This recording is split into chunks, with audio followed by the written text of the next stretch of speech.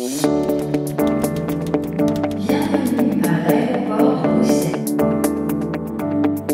m'appelle Michael Denolf, je suis un agent PSA pour Brussels Airlines. Je suis responsable pour les passagers du check-in jusqu'à l'embarquement de l'avion. Alors au quotidien, je dirais que nous avons adopté des nouvelles façons de, travailler, c'est-à-dire que euh, les plans de travail pour le personnel est régulièrement euh, désinfecté. Euh, nous avons aussi la vitre de protection qui nous sépare des passagers aussi bien au desk du check-in qu'à la porte d'embarquement. Et nous avons aussi adopté une nouvelle procédure chez Brussels Airlines, c'est de limiter l'échange physique avec les passagers, c'est-à-dire les passagers peuvent par exemple faire le check-in en ligne et obtenir une carte d'embarquement sur leur téléphone. Ainsi, nous sommes plus obligés d'imprimer une carte d'embarquement et de la donner de main à main.